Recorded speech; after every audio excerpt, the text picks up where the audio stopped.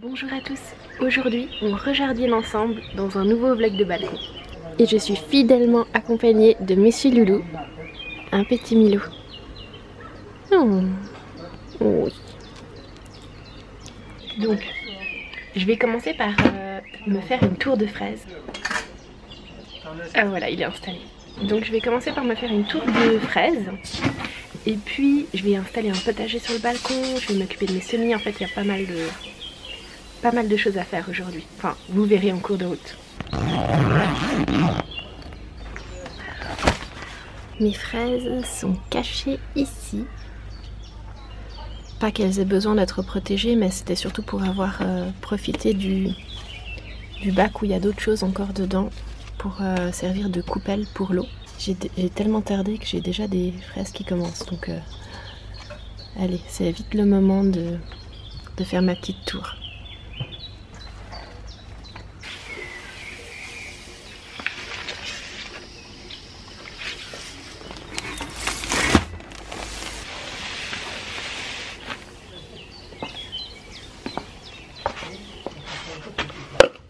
Donc j'ai beaucoup de fleurs en fait sur mes fraisiers et j'ai aussi toutes les fraises qui commencent.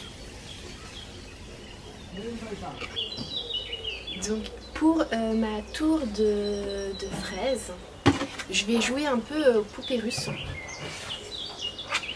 J'ai un grand pot, un petit pot avec un rebord qui va dedans pour lever en fait le, niveau du pot. Je vais pas mettre de billes d'argile, euh, ça va être du gaspillage de place. Et là, de toute façon, le drainage, il sera fait euh, correctement. J'ai encore d'autres pots. Je vais mettre celui-là et celui-là. Et pour qu'ils puissent euh, tenir, je vais utiliser des petits pots en plastique. Je vous montre ça. Donc en fait, mon truc, il a 1, 2, 3, 4, 5, 6 et 7 pots. Mais on va pas tous les voir.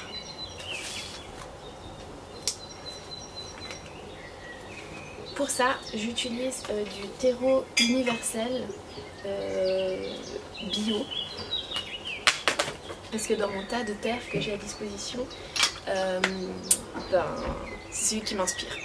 Et puis, apparemment, ça va bien pour les fraises. D'ailleurs, il y a des fraises sur le paquet. Je sais, c'est très marketing, mais ça marche sur moi. Ça reste une bonne indication. J'ai toujours peur qu'il y ait des bêtes dans mes gants.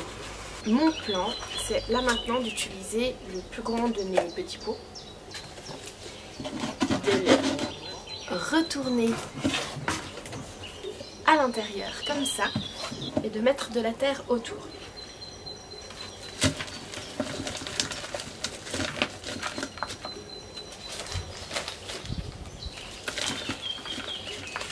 Clairement renettoyer le balcon après ça.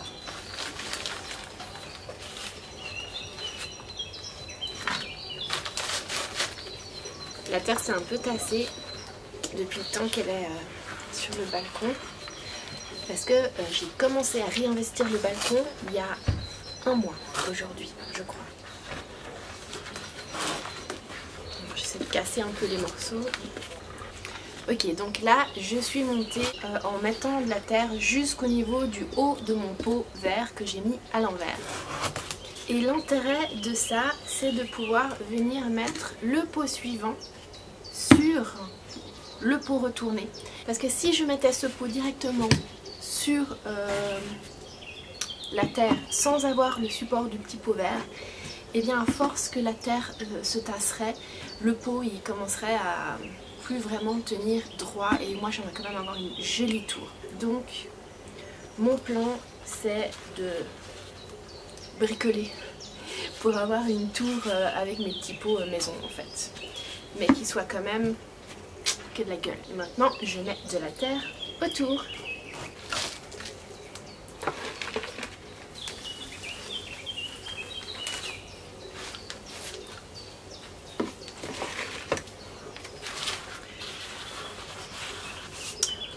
Ok, pour le moment, j'ai mis suffisamment de terre euh, autour de mon pot et je vais passer à l'étage euh, suivant. Alors, l'étage suivant, un seul petit pot comme ça, ça fait peut-être pas assez euh, haut à mes yeux. Donc je fais un pot dans, sur un pot parce que j'aimerais assez de place pour avoir vraiment une cascade de fraises. Et euh, de nouveau, le but c'est de monter jusqu'aux fesses du petit pot à l'envers.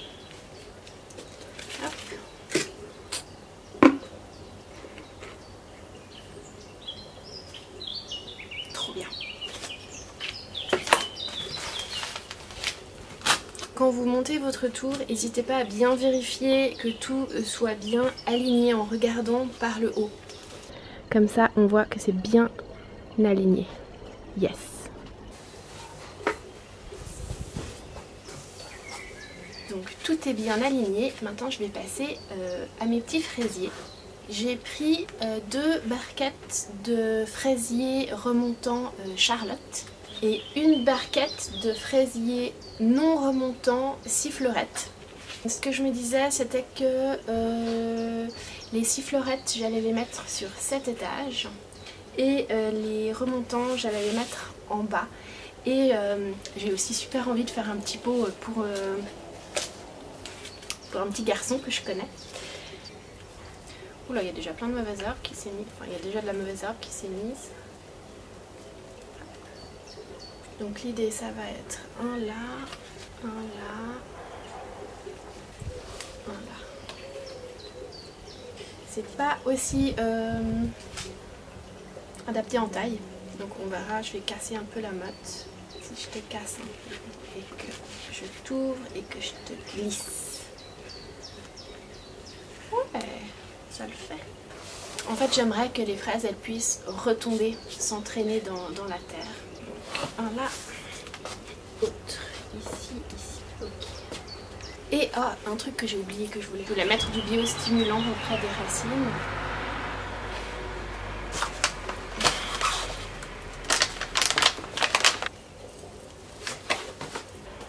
Bon, c'est du rattrapage. Il vaut mieux travailler en descendant pour éviter d'avoir de la terre qui tombe trop sur ceux du bas quand on travaille en haut. Euh, simplement que le pot de tout en haut, je le garde pour autre chose. Pour quelque chose qui n'est pas encore prêt. J'aurais dû tout de suite utiliser ça en fait. Pour casser la terre.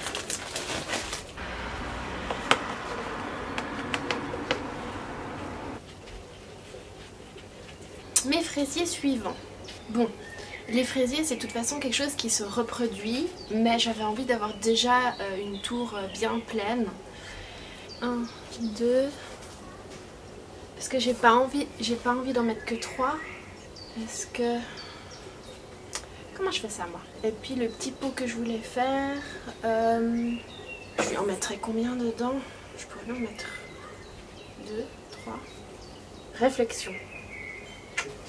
Ce que je me dis aussi, c'est que de toute façon, avec le confinement, euh, je vois que là, il y a déjà des fraises qui commencent et... Euh, J'aimerais bien qu'il puisse voir l'évolution des fraises, ce petit bonhomme. Mais en fait, je vais pas pouvoir le voir avant un petit moment. Euh, donc, euh, je vais planter toutes mes fraises et j'en reprendrai pour lui faire un pot. Pour qu'il puisse vraiment voir euh, ben, les fleurs, comment ça se transforme, les fraises, qu'il puisse après aller les cueillir. Comme ça, je me fais une tour maxi pleine. On va faire ça comme ça.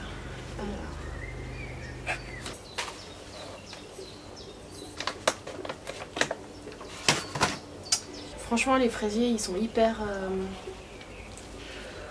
ils acceptent beaucoup de choses. Donc, euh, voilà, je, vais les, je les squeeze un peu et puis je casse quelques racines, hein, franchement. Là, je casse quelques racines. Et voilà euh, mon, ma tour de fraisier. ah, je suis super contente. Donc, j'ai complété avec la terre et là, en fait, je nettoie juste parce que j'aimerais que ça soit joli les éventuels euh, petits amas de terre sur les pots. Parce que sur les euh, sombres comme ça, enfin c'est visible. Alors moi en fait j'adore euh, j'adore le style des pots.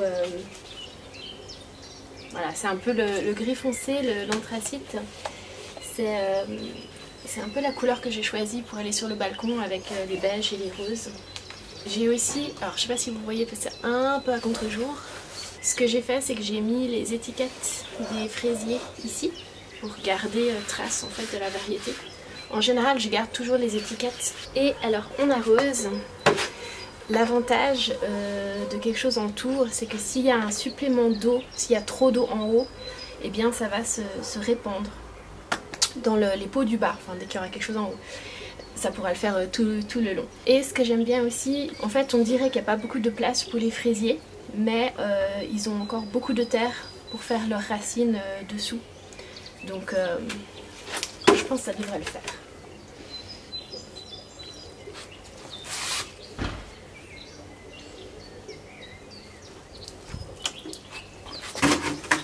J'ai peut-être mis un peu trop de terre, j'espère que ça va se tasser. Et pendant que je suis en train de finir mon fraisier, je suis en train de me dire, enfin ma tour de fraise, je suis en train de me dire que je pourrais mettre sur des roulettes, comme ça je peux y faire euh, tourner au besoin. Je vais regarder. Yes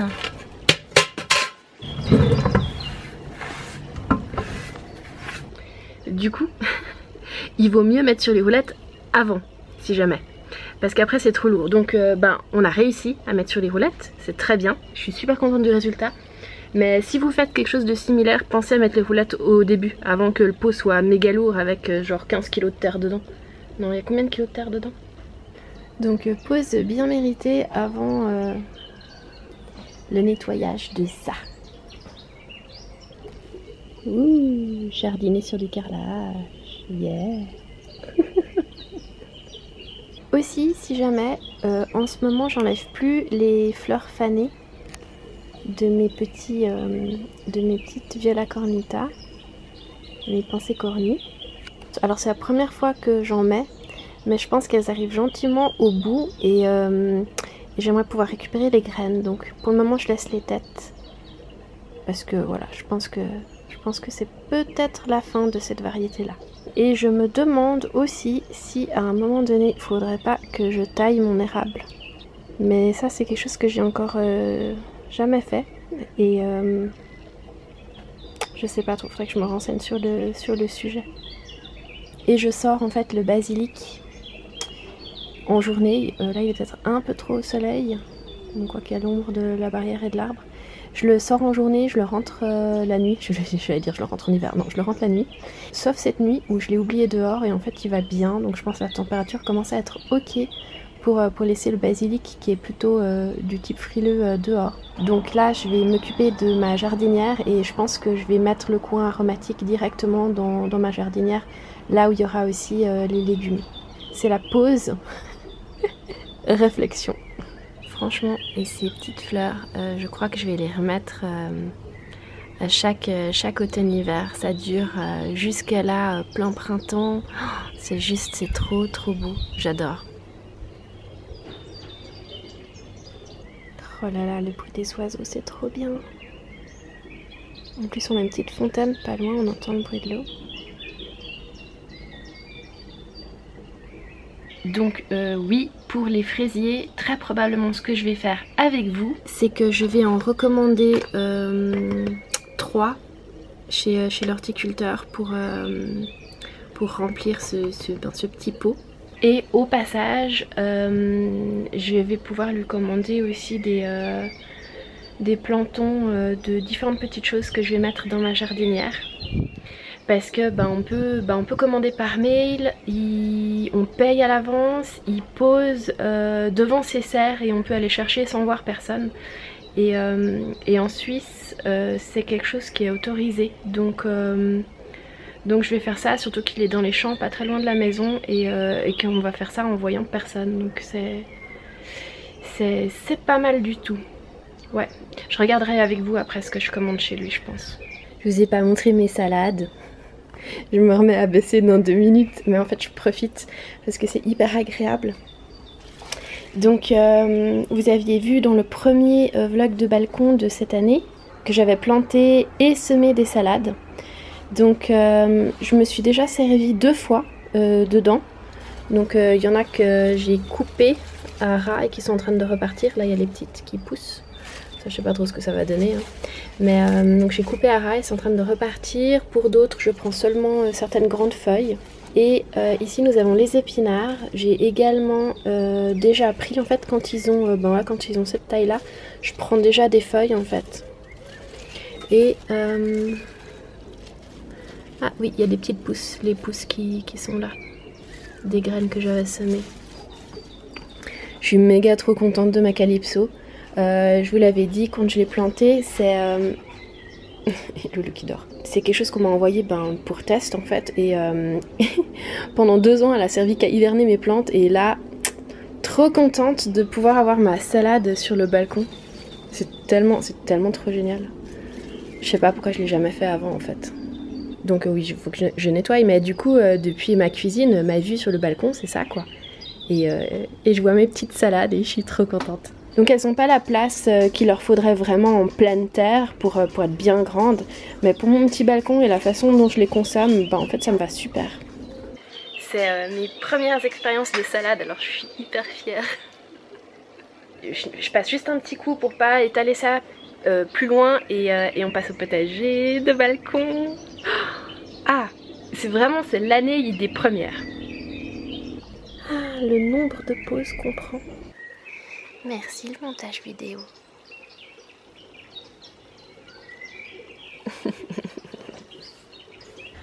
bon, c'est enfin le moment de monter ça.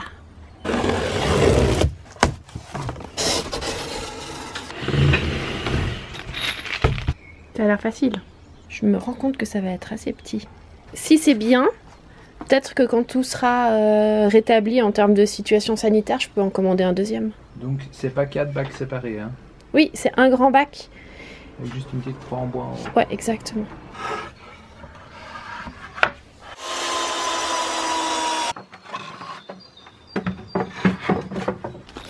Du coup, c'est vraiment quelque chose qu'on peut faire que avec une visseuse en fait. Il y a du plastique qui vise de faire des trous pour éviter l'eau stagnante. Ok. Tada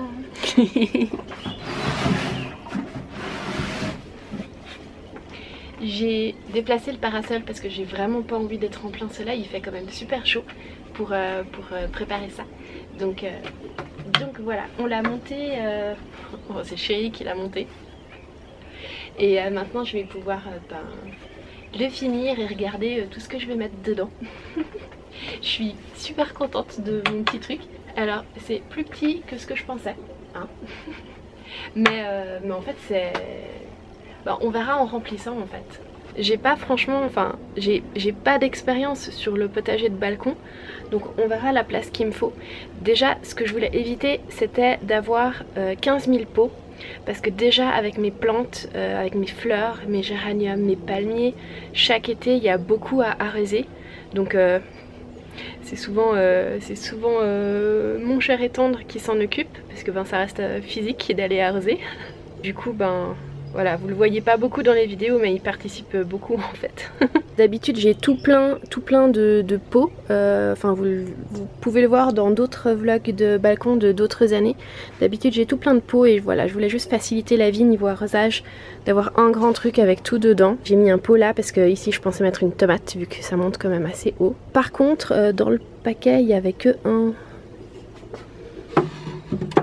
un de ces trucs de croisement là il manque, euh, il manque l'autre. On leur a envoyé un mail, mais actuellement on n'en a pas besoin. Il y a clairement d'autres priorités que d'envoyer un morceau de bois. Mais bon, on n'en a pas besoin pour jardiner et puis euh, autant que tout le monde reste en sécurité. Il y a euh, une toile et un plastique pour protéger le fond. Et maintenant j'ai un doute dans quel sens ça va. Ok, alors réflexion. je vais vous poser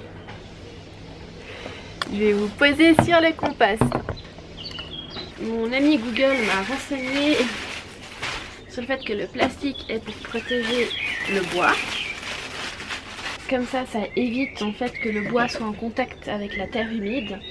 Par contre, euh, je vais quand même faire un trou, deux, trois de drainage parce que ben j'ai pas envie de ça se transforme en piscine. J'ai fait euh, un tout petit trou ici, là, et un autre ici. C'est vraiment juste s'il y a un excès d'eau et je mettrai des soucoupes euh, en dessous.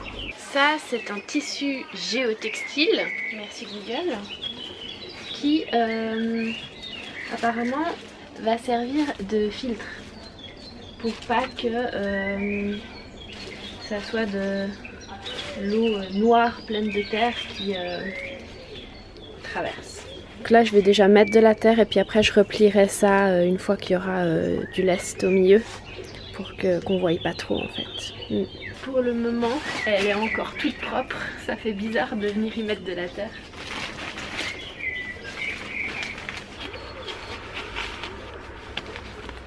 C'est bizarre cette terre, elle a des morceaux de bois dedans.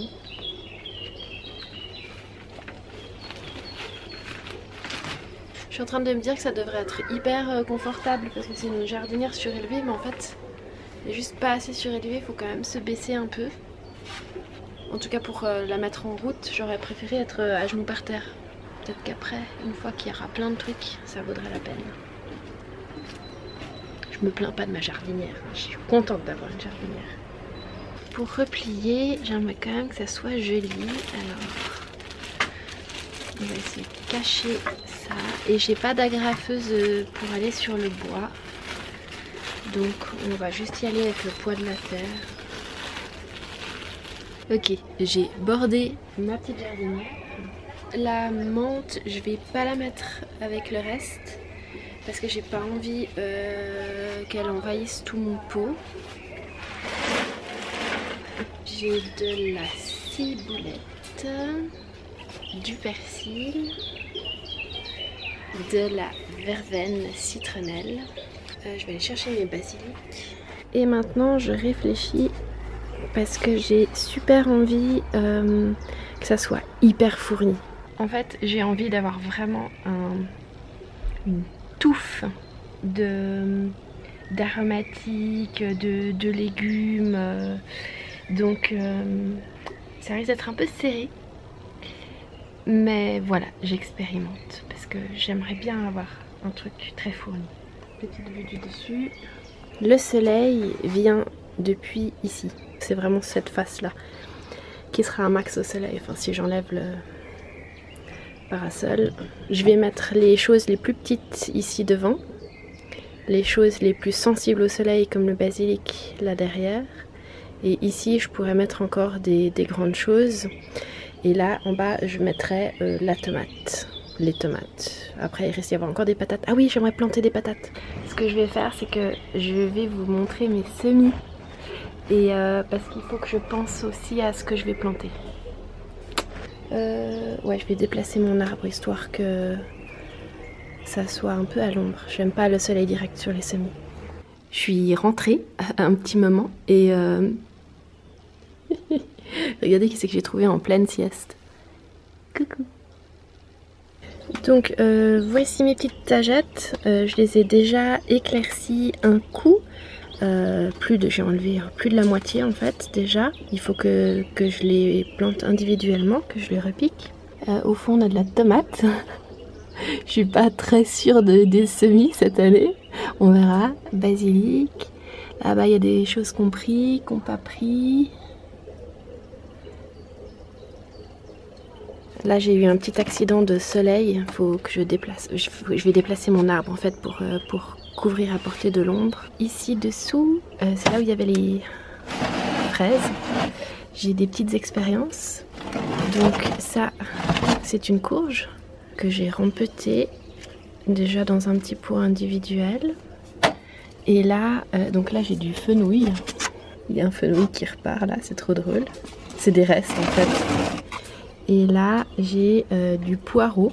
Pareil, c'est un, c'est un reste qui est en train de repousser. Et euh, des salades, pareil, des restes qui sont en train de repousser. Ici, euh, c'est un test. Et là, j'ai déjà donné 6 courges. il en reste une là et celle que j'ai déjà rempétée. Là, j'ai du pois croquant. Des laitues qui n'ont pas vraiment pris là derrière. Et en bas, j'ai encore, euh, encore de la tagette. Ce que je fais en fait, c'est que je mets mon, magnolia euh, devant pour que ça fasse de l'ombre, pour pas que ça me crame les semis. Parce que c'est comme ça que j'ai perdu euh, certains melons souris en fait. Ils ont pas eu assez d'eau et ils ont cramé au soleil. Mais euh, je me souviens maintenant pourquoi la première fois que la première fois que j'avais utilisé cette serre, je l'avais mise là contre et elle était toujours à l'ombre et c'était ben plusieurs années avant d'avoir mon salon de jardin donc ça allait bien. Mais là il y a juste un petit bout au soleil. Donc euh, chaud les semis. Je vous ai mis dans ma serre parce que en fait je vais euh, sortir ce pois croquant pour déjà le mettre là où j'aimerais qu'il aille. Et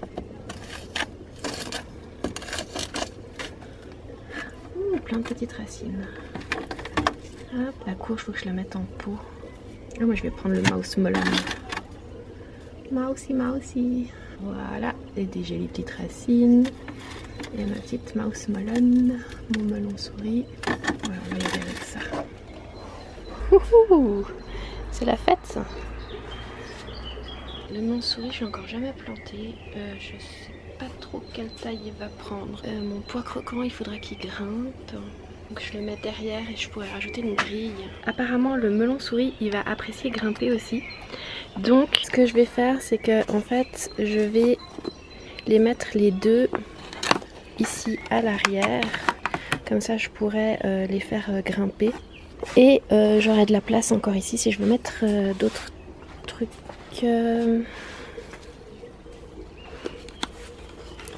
Ou alors je vais peut-être juste un peu étaler les choses et puis je verrai au fur et à mesure quand je finis quelque chose de le remplacer. Et aussi ce que j'aimerais faire c'est quelque part au milieu, peut-être à deux endroits, ou plusieurs endroits, j'aimerais mettre des tagettes pour euh, lutter contre les petites bébêtes. Ça rime. Alors elle ira ici avec l'autre.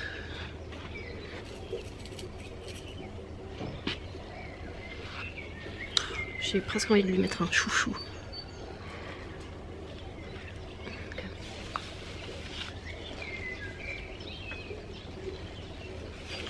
maintenant je vais mettre déjà un peu de terre et je passe à la rangée suivante. Ok, je mets la mèche de l'autre côté. Trop drôle. Première euh, rangée, première butte de fête. Donc j'ai la couche de terre de base. Je creuse un chouïa tout petit peu. Euh, je mets des granules. J'installe la plante et je mets de la terre des deux côtés. Et voilà, j'ai fait une butte et je passe à la suite basilic, petit pot.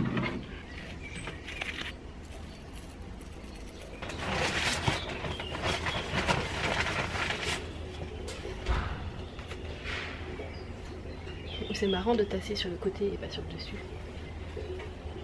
Donc là j'ai ma motte de basilic et j'ai préparé une petite butte ici pour mettre euh, ben, les semis parce qu'ils n'ont pas autant de terre autour des racines. En tout cas pour le moment. Donc je vais mettre le pois croquant ici et le melon souris ici. Je sais qu'il y a certains semis qu'on peut enfoncer euh, lorsqu'ils filent un peu, on peut les enfoncer plus profond. Le melon souris je ne sais pas. Mon petit pois. On verra ce que ça donne.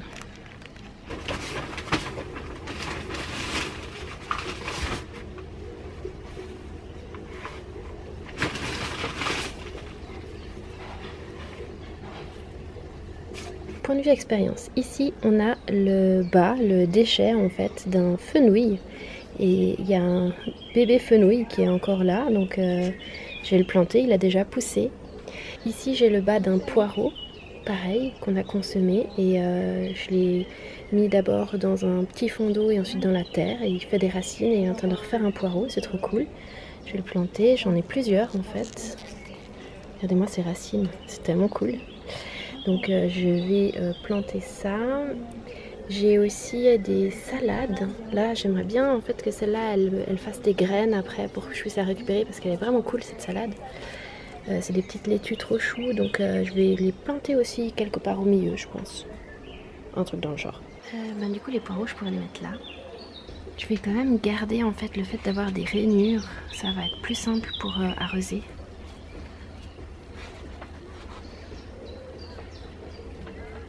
Ah si, on peut se mettre à genoux et avoir les mains dans le bac. C'est bien ça. Plus facile pour le dos. de toute façon, je m'attends pas à ce qu'il grandisse beaucoup plus. Donc euh, je peux serrer, serrer en fait. On verra ce que ça donne. Trop drôle. Ah purée, ceux-là, ils ont bien bien fait des racines. Hein. C'est un bac à expérience. Hola C'est le matin. Oui, enfin, euh, fin de matinée. Et euh, bah, je vous ai pas montré euh, comment ça a terminé l'autre jour. Donc là, c'est ma petite tour de fraises qu'on peut faire tourner. Je suis super contente. On dirait qu'elles n'ont pas beaucoup de place dedans parce qu'à la surface, il y a peu. Mais il y a plus de terre au fond, donc j'espère que ça ira. Ouais, ça me plaît bien. On verra ce que ça ce que ça donne à l'usage parce que c'est une expérience. Donc le matin j'ouvre ma petite serre. Comme ça mes semis ont été bien protégés pendant la nuit mais ils cuisent pas non plus euh, pendant la journée. Et de la même façon, alors j'utilise l'arbre pour faire de l'ombre en journée sur, euh, mon petit bac. Et euh, j'utilise, parce que maintenant mes salades elles sont bonnes pour passer la nuit sans, le, couvercle, en tout cas ça se passe super bien. Donc, donc du coup j'utilise le couvercle pour protéger ben, les aromatiques. Voilà mon petit couvercle de calypso. Donc voilà à quoi ressemble le petit, mon petit bac. Je crois qu'ils repartent déjà. Le basilic, alors celui-là ça va, il reprend bien. Euh, celui-là, je sais pas trop ce qui se passe. Il fait peut-être quand même un peu froid dehors pour lui maintenant. Je, je sais pas. On verra, je le, laisse reprendre. Et au pire, ben, je le cuisinerai plus rapidement. On va faire ça comme ça.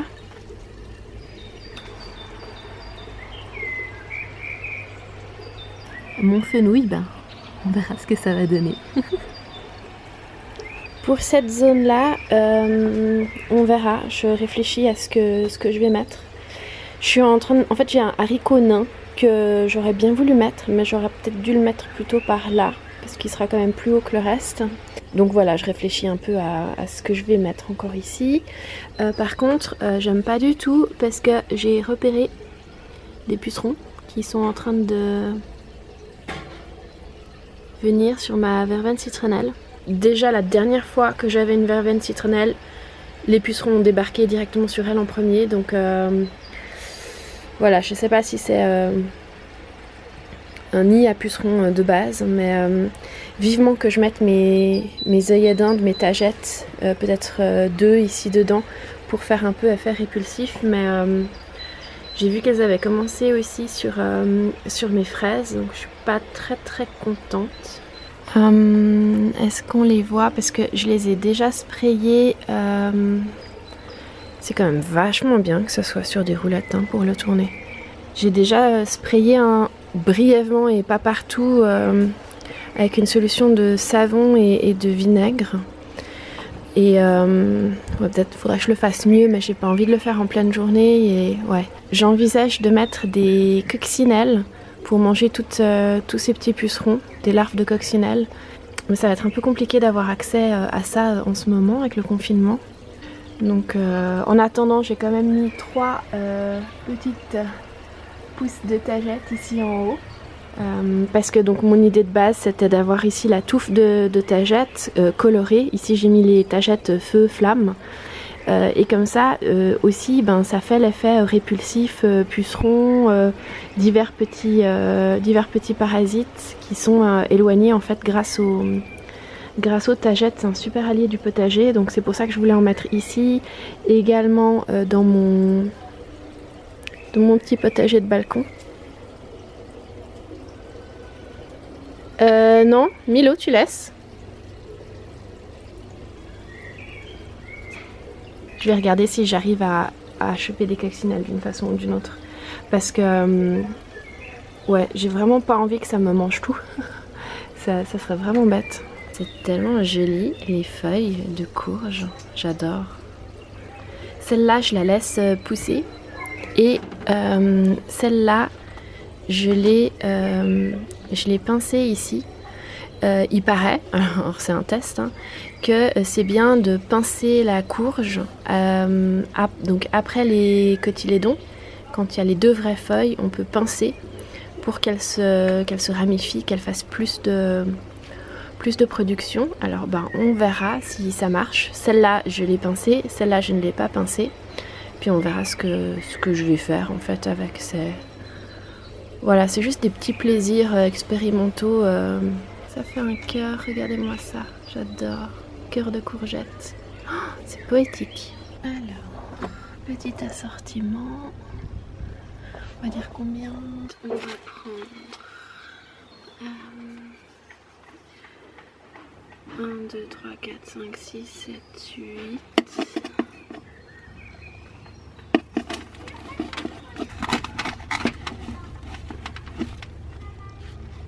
Ok, petit assortiment. La terre, elle m'a l'air un peu trop sèche. Alors, on va mouiller un coup. Et je vais aussi mettre de l'eau dans les tagettes. Alors.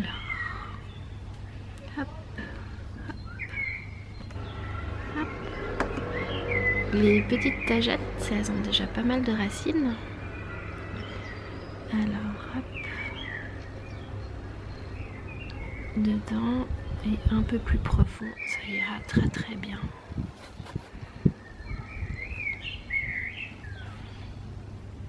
Donc là, c'est le bon moment pour les repiquer parce qu'elles ont déjà euh, les vraies feuilles qui sortent.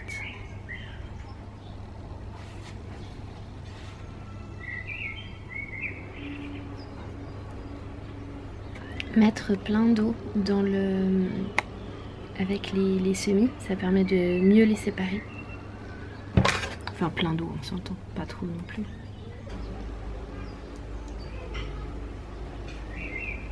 Alors je vais sortir la dernière courge, je l'avais exprès laissée pour vous montrer les racines de fou.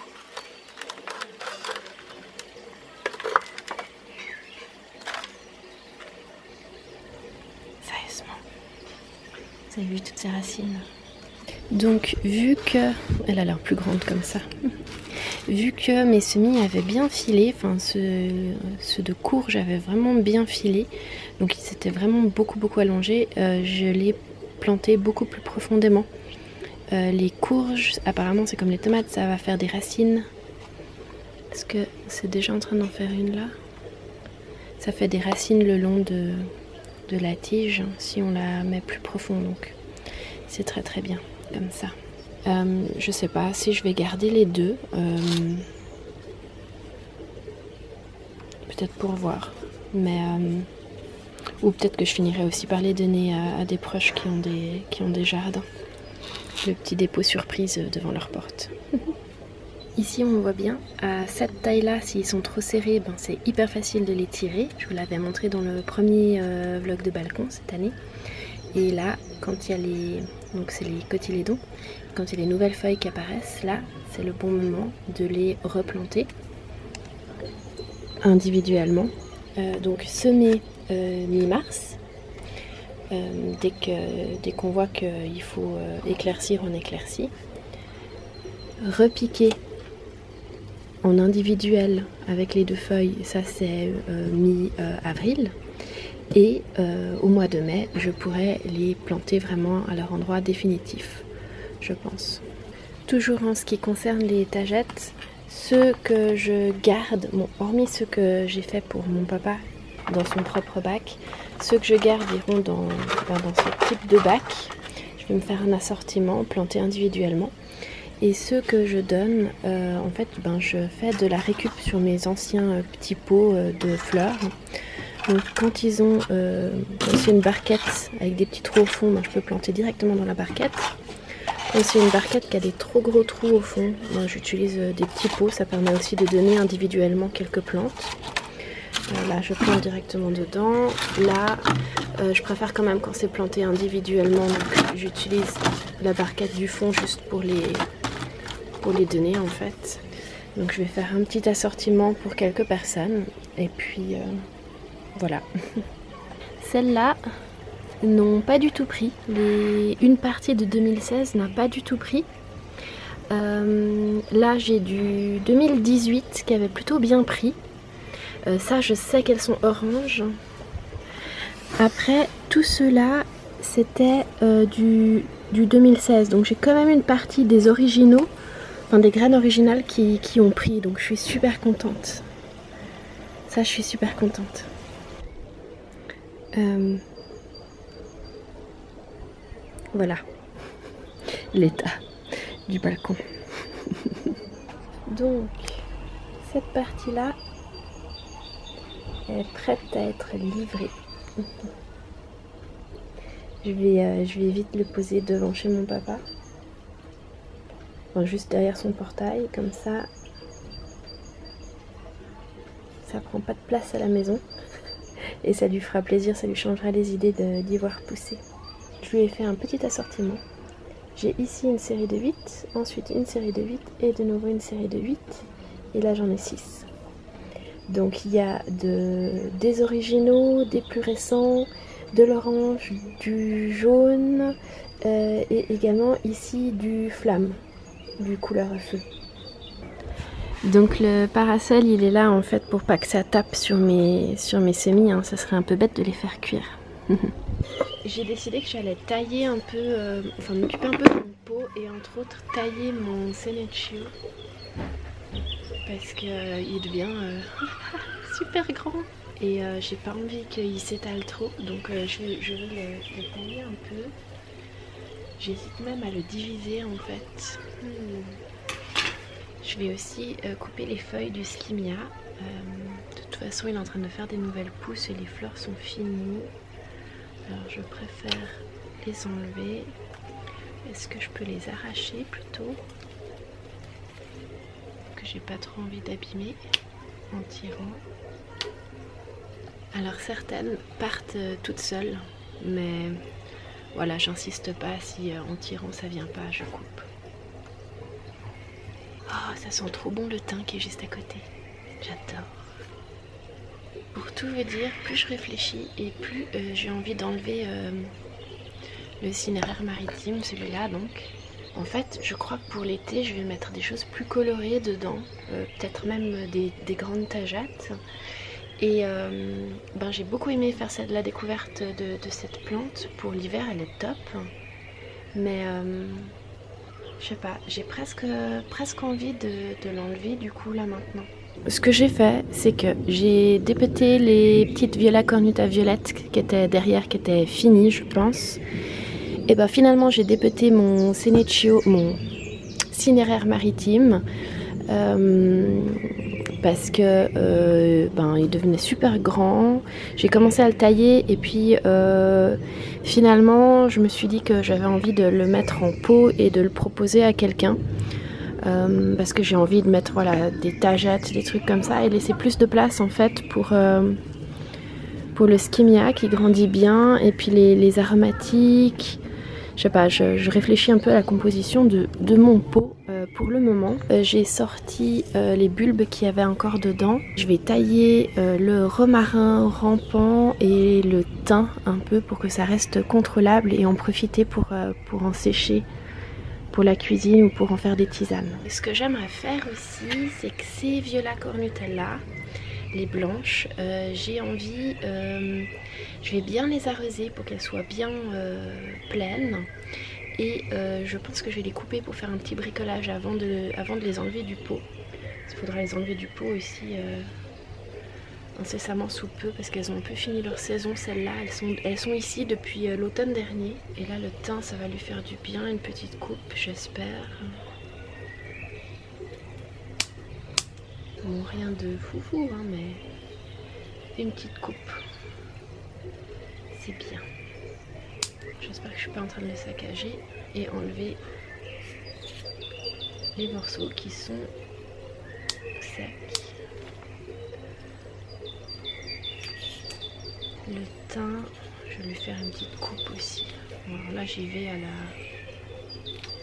à l'arrache comme ça.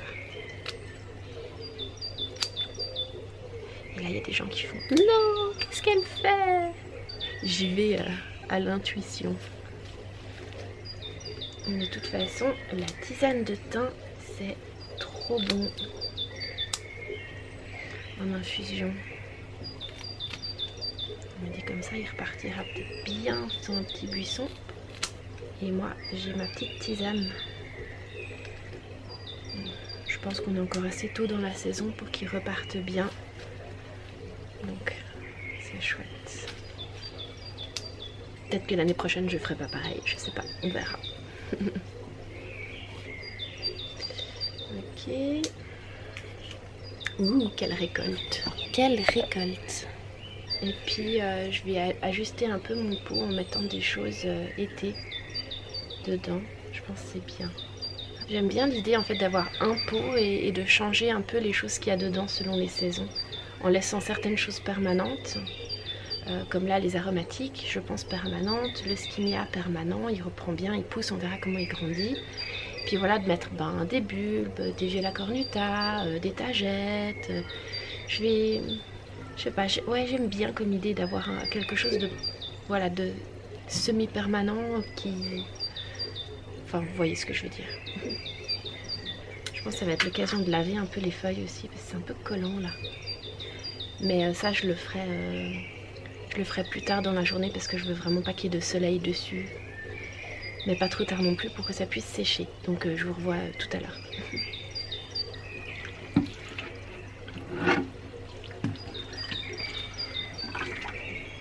Et en attendant, ça, ça va déjà au compost je vais pouvoir maintenant couper mes petites fleurs. Juste quelques-unes pour pouvoir faire mes cartes de vœux. En fait, j'aimerais faire des cartes de vœux avec des petites fleurs. Je pense que je vais en prendre aussi euh, chez quelqu'un de la famille qui en a euh, de plein de sortes différentes de ces petites pensées. Et ça donnera bien en fait. J'aurai des options là je prends celles qui sont le plus euh, le plus jolies. C'est quand même super chou ces petites fleurs blanches. J'adore.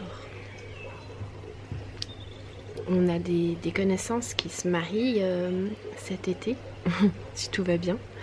Du coup, je pourrais faire aussi, ben, peut-être pour eux, une petite carte ou je sais pas on, verra. Je vais les faire sécher à plat euh, dans du papier journal couvert de, livres.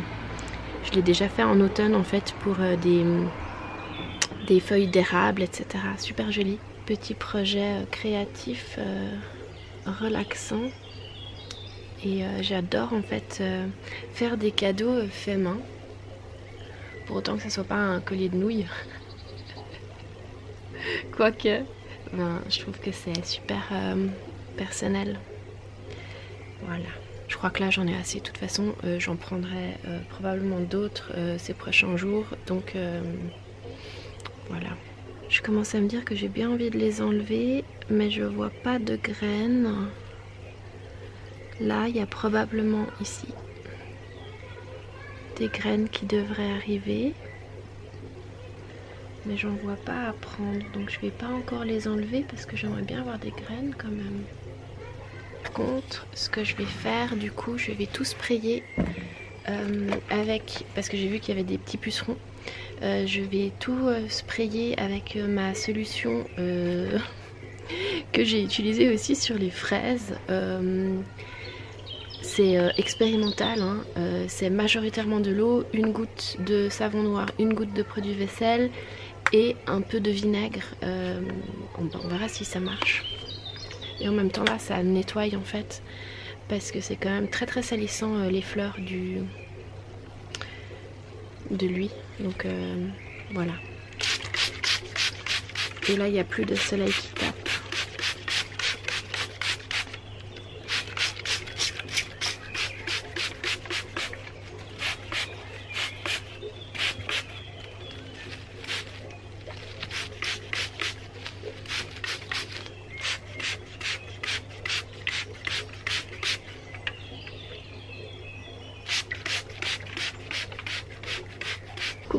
un nouveau jour se lève sur la planète Terre.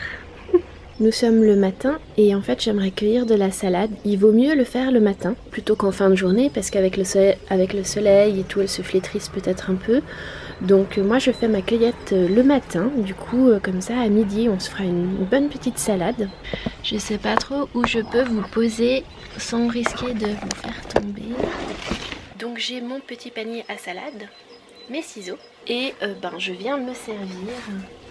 Je vais prendre celle-là elle est très haute alors je vais l'enlever peut-être même complètement.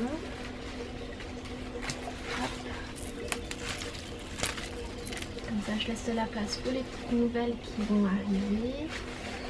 Euh, je vais aussi enlever celle-là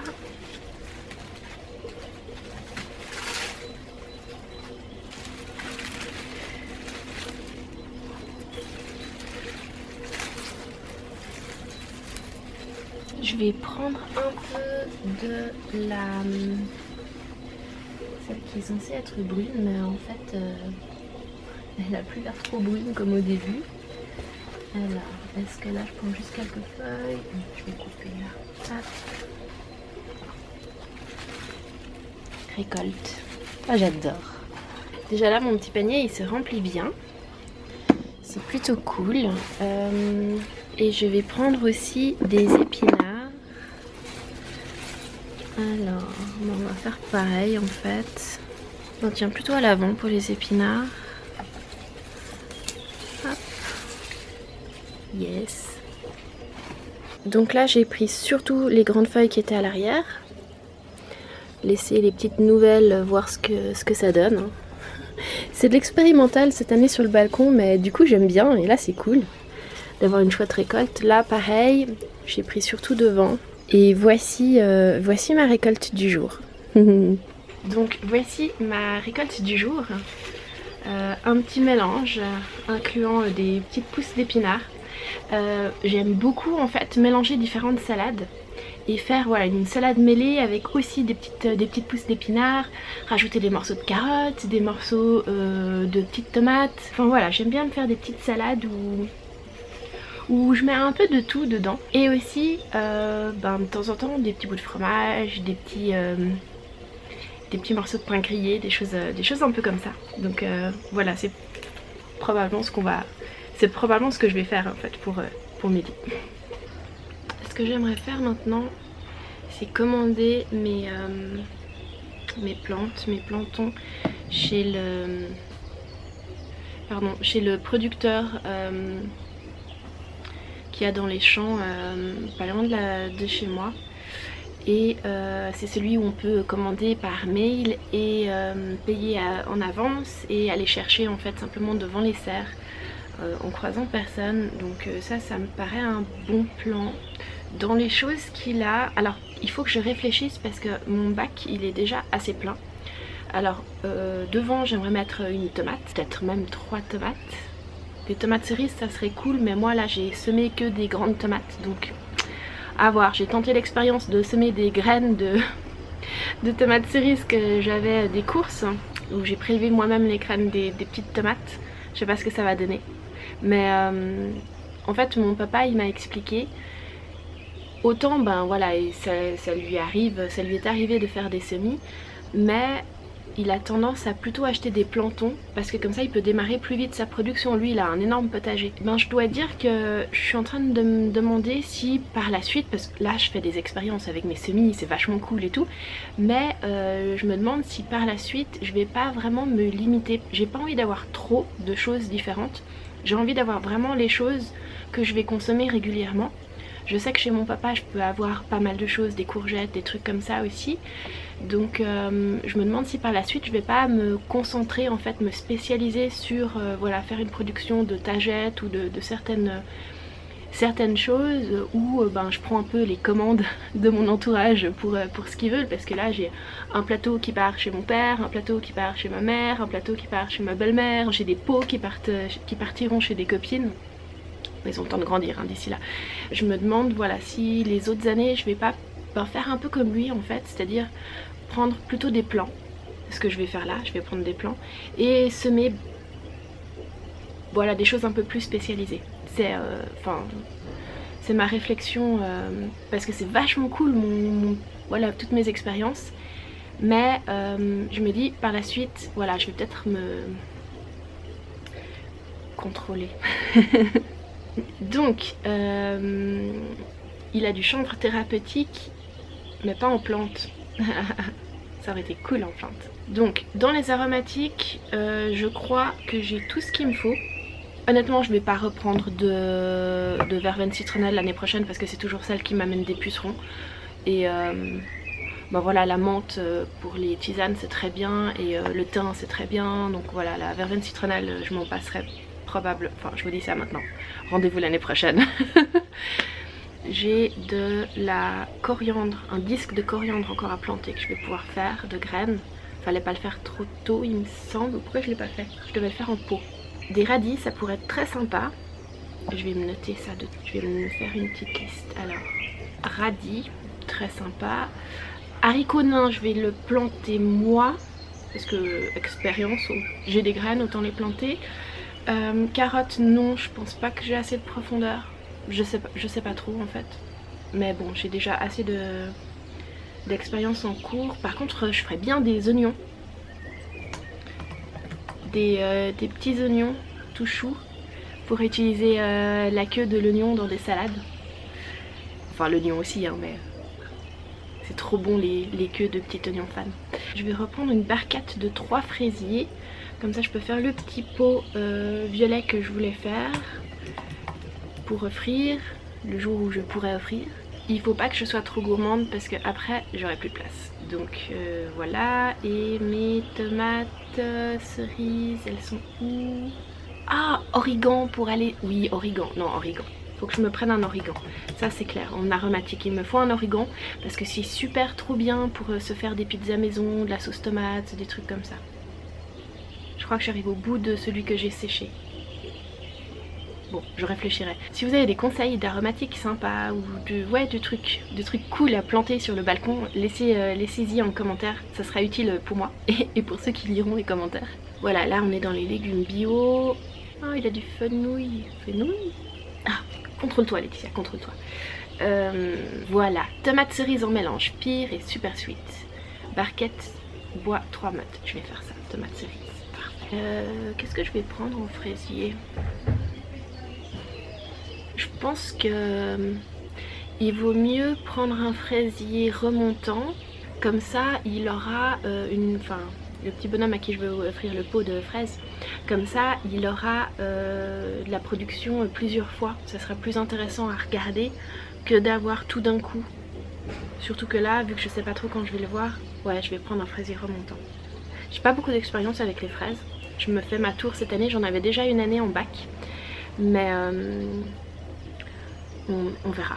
Voilà, l'expérience se fait avec le temps, n'est-ce pas? Il a aussi quelques plantes d'intérieur. Ne regarde pas Laetitia, ne regarde pas. Et il a des sampolias. C'est des violettes africaines. Non, non, non. Je reste, je reste sage.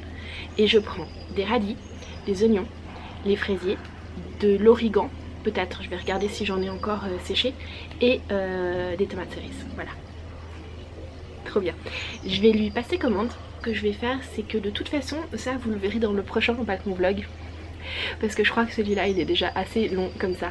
Je vous ai posé la question sur Instagram euh, si vous préfériez des vlogs de balcon court ou des vlogs de balcon long et vous êtes plus de 80% à aimer euh, mes vlogs de balcon euh, ultra longs. Donc voilà, je, je, vais regarder. Je vais peut-être faire un petit mix entre certains longs et certains plus courts parce que en fait c'est très très long euh, ben, à, filmer et à travailler par la suite donc euh, je verrai, je vais faire un, petit mix en fait pour satisfaire tout le monde tout en gardant voilà mon, habituelle euh, série de balcon vlog longue de, de printemps. Bref, donnez-moi votre avis en commentaire parce que finalement je crois que c'est encore toujours un tout petit peu en réflexion dans ma tête. et du coup ben, dans le prochain je planterai aussi mes patates. Je planterai mes plantons. et euh, je pourrais enfin euh, placer les tagettes dans leur pot définitif et euh, probablement les livrer aux bonnes personnes. Mais ça faudra voir, ça sera au mois de mai. Bon on se tient au courant. Si vous me suivez pas encore sur Instagram, n'hésitez pas à le faire, comme ça ben, on communique. Et puis je vous fais tout plein de bisous et je vous dis à bientôt dans la prochaine vidéo.